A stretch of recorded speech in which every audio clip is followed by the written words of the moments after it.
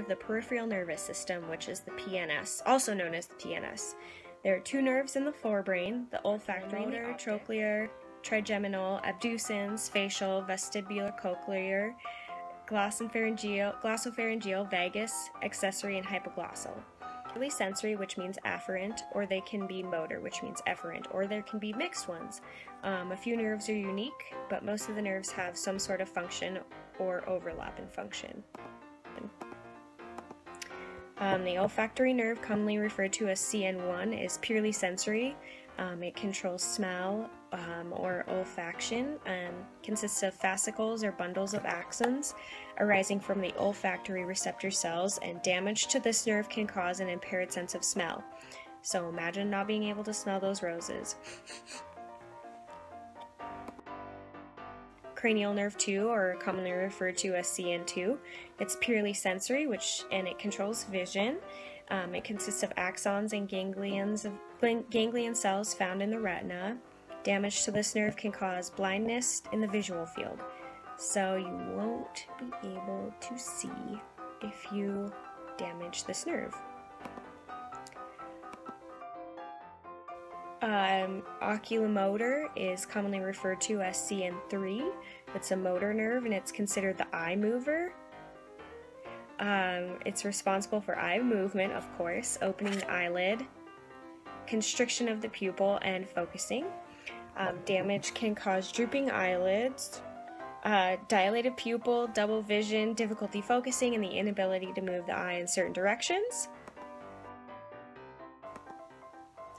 Then there's the trochlear nerve, which is commonly referred to as CN4. It's a motor nerve. Trochlear means pulley. Uh, somatic motor to the superior oblique muscles of the eye.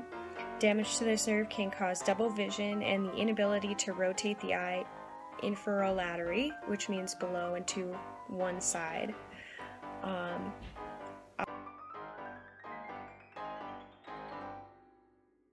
Nerve 5 is the trigeminal nerve and it's commonly referred to as CN5. It's the largest cranial nerve. Um, it's both sensory and motor.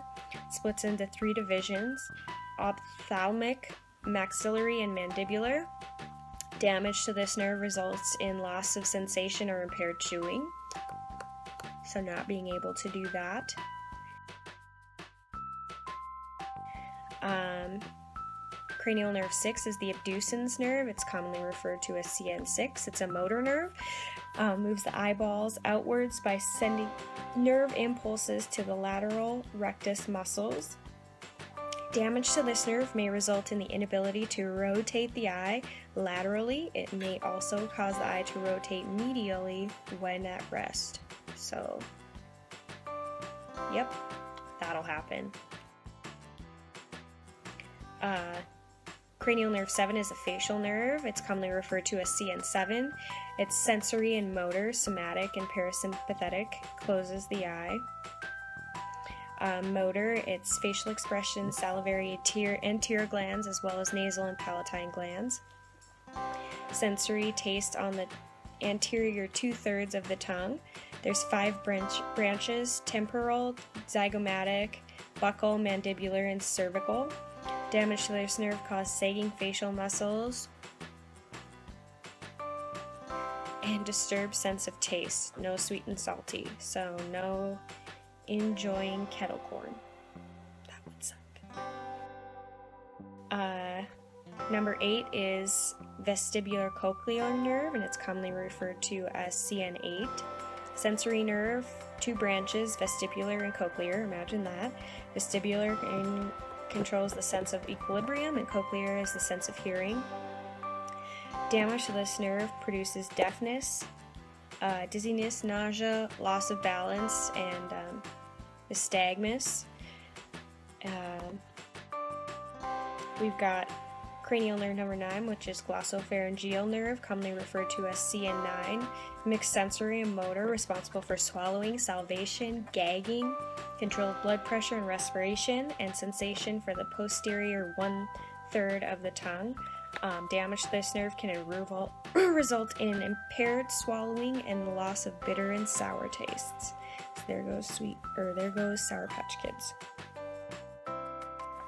Cranial nerve 10 is the vagus nerve, and it's the only cranial nerve to extend beyond the head and the neck.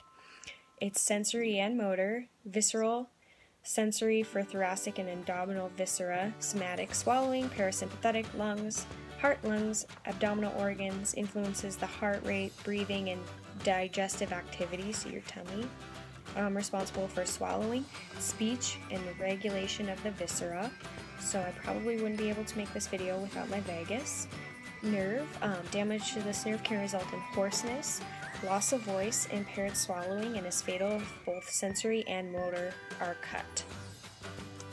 And it's a motor nerve. It's unique because it arrives from the ventral rootlets of C1 through C5 spinal cord levels, responsible for swallowing, head, neck, and shoulder movements. So, stuff. Damage to this nerve causes impaired head, neck, and shoulder movements. The head usually turns toward the injured side, largely involved in the head and neck movements. And last but not least, the hypoglossal nerve is the cranial nerve 12, commonly known as CN12. It's motor, responsible for tongue movement, for speech, food manipulation, and swallowing. So, all of that business. Um, damage to this nerve can result in tongue deviation towards the injured side. Damage to both nerves can result in the tongue protrusion. Uh, so that is the 12 cranial nerves summed up.